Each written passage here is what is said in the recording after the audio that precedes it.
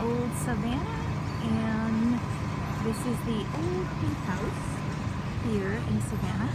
And this is one of the famous buildings. I'm going to show you right here the little horses driving around. So cute. Um, this is one of the oldest buildings that survived the Great Fires in the 1800s. I think it was the 1800s. Um, but our tour guide told us to definitely eat lunch or dinner here. If you do, make sure you have two or three days reservations. We lucked out and popped in and it was 15 minute wait. So we are going to be eating lunch here and I'm going to show you uh, the delicious foods. Apparently this is very, very famous and it's on a lovely square. I'm going to show you here. Savannah, the city is built around many, many, many squares. And the buildings are tightly packed in the city. And then they have lots of gorgeous open green areas, kind of like Paris, but on a very smaller scale. Of, and this is one of the green areas here in the square. So we will be venturing in as soon as our table is ready. The Pink House is located in John Wesley Square here in Savannah, Georgia. And it's under the old live oak trees. This little mini park, which is quite lovely. Is the typical square in Savannah. Each square has some kind of a fountain or a statue. Um, this is of a priest that was settling, settled in this area. And I believe this is the John Wesley that started the Methodist religion here.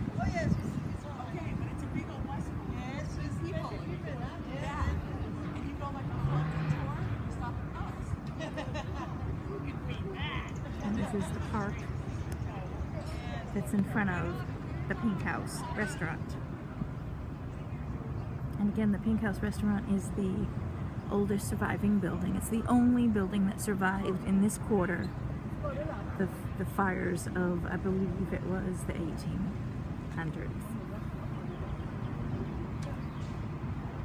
This is inside the square, and there is the Pink House. I love the color of the outside of the Pink House. This is the garlic cheese straws they served. We've eaten some of them, of course. Instead of a bread. And this is inside the rooms in the house. I really love the yellowy, light yellowy ceiling. This beautiful light blue walls. These.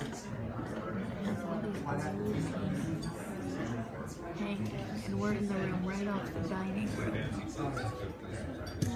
Here.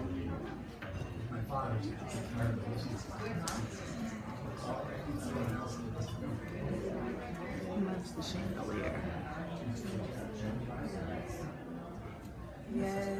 Venetian crystal shade. Oh, it's Venetian crystal? Yes. Are the paintings, what are these paintings? Uh, I'm gonna tell you who everyone is. Um, I don't know who.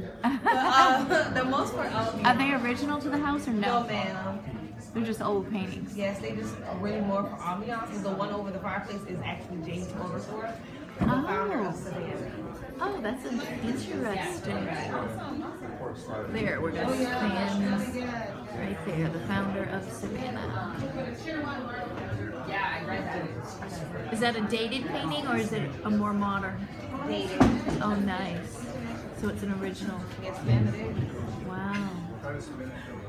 There he is, the founder of Savannah. Oh, we got that one out there. That's James Habersham. This was his house. And then the house is 16,000 square feet, so you can walk around and catch some pictures of Mary Habersham. Oh, uh-huh. Yeah. 16,000 square feet. Wow. That's a big house. All right, this is our dinner. We just were served, actually our lunch.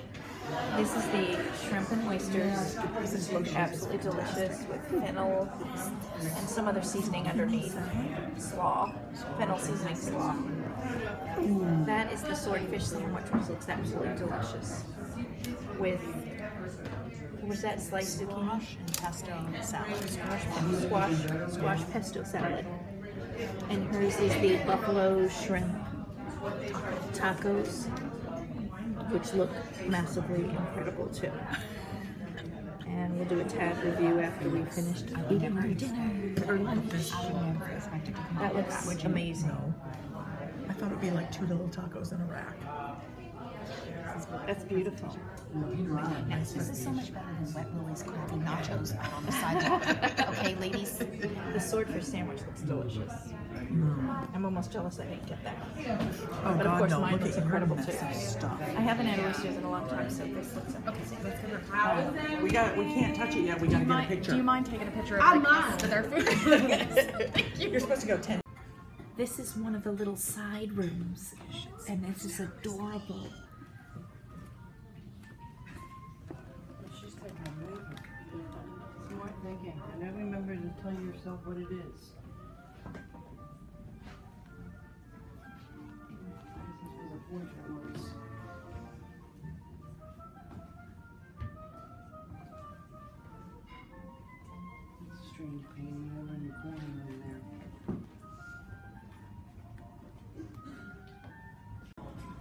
This is another one of the rooms.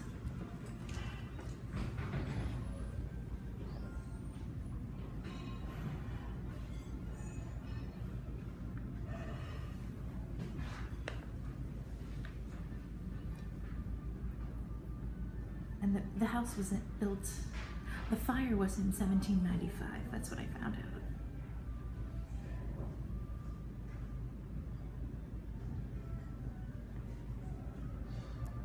So this was one of the other houses. There was two houses, I think the pirate's house and this house that survived.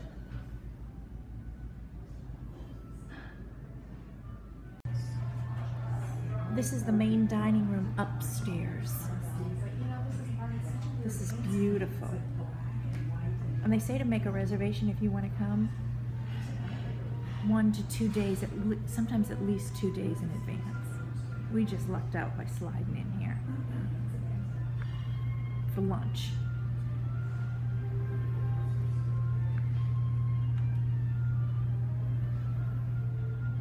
This is beautiful.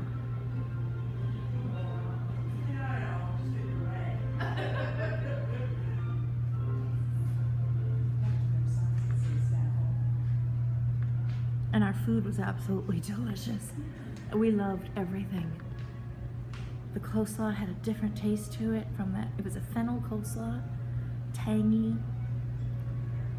It was amazing. We just, everything we loved, loved, loved.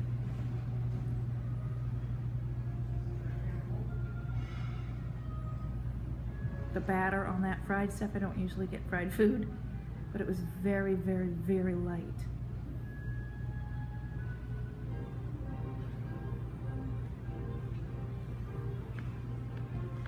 This fire i love the colors gorgeous. And in one of the rooms the waiter said that it, it's actually called savannah black.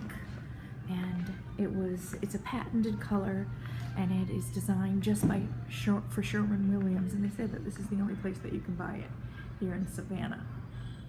And it was a plum black. Actually a chocolatey brown but plum with a little hint of plum to it. It was beautiful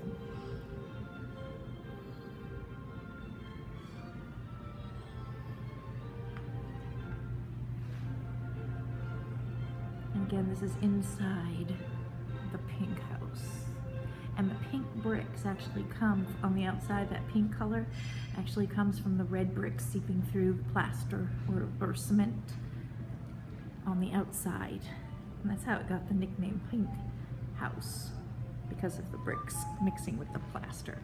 Kind of seeped through, the color of the red brick seeped through the outer coating.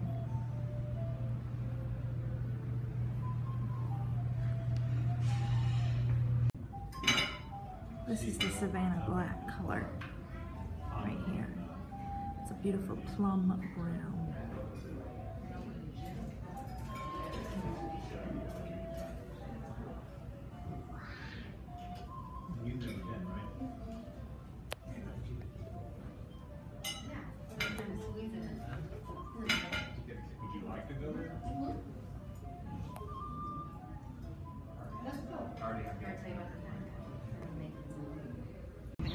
This is the pink house on the outside at the very corner.